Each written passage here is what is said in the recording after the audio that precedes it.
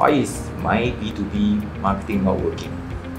A valid question for B2B industry.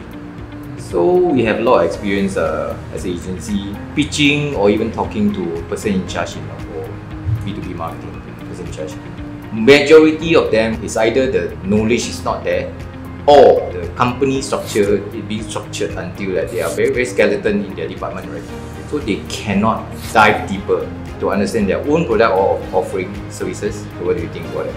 So we say that uh, their structure in that way means is it the function of the, the sales or the marketing or the product team they are operating in silos or what you? Yeah, majority in silo, but then again, we say that the, the staff strength on each department is not enough to carry adequate in-depth research about their own product or services, including the buyer persona. It actually boils down to how the company is structured in the first place when they set up.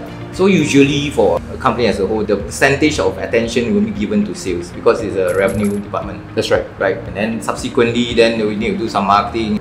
Okay. No, so no. actually what you're saying that most of these marketing people, right, in such a company and for B2B, they are so well versed with the traditional way of marketing.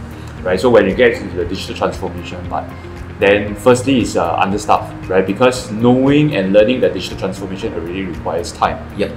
Right? And then since they're understaffed and under resources, they wouldn't have that uh, ability or time or fast enough to pick it up. And then secondly, then you mentioned about uh, most of the time these sales resources are adequately staffed, right? But not the marketing. And but the, in the case for such organizations, they are usually sales centric, Yep. right? But sales centric. But these days, how marketing works, uh, typically nobody wants to receive a cold call. Don't call me. Right? And so when they don't want to receive a cold call, typically then it's about having so many salespeople out there knocking on doors. It doesn't really help, right? Rather, it should use marketing messages to lead the effort before you get hand raisers kind of a leads. That will be more effective for the sales to follow up, right? Such that they then, when we look at connecting with the prospect, right, it would be a better qualified and better aligned. Yeah, but um, usually to, to, to even start off, the marketing department will really understand who, who their audience is. That's yeah, so and then subsequently maybe because I mean if they, they know how to actually do then they do need an agency. Yeah.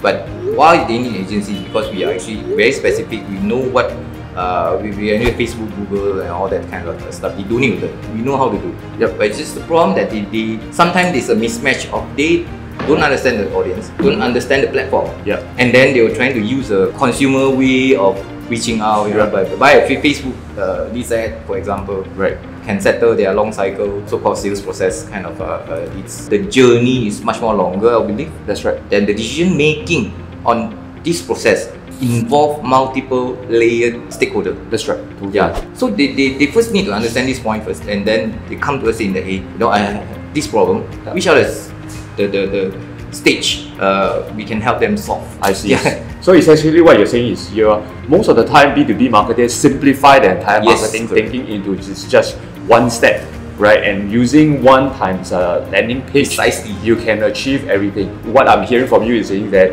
it could, because the B two B buying cycle is so long, the stages and involve a lot of stakeholders coming in, and hence when you involve a lot of people, it means you have different narratives catered for different stakeholders Yep. but it cannot just be simplified in just one time landing page Yes. that does it. Yeah. So it's not about uh, one person making that decision. It usually starts off with what we call a digital investigation.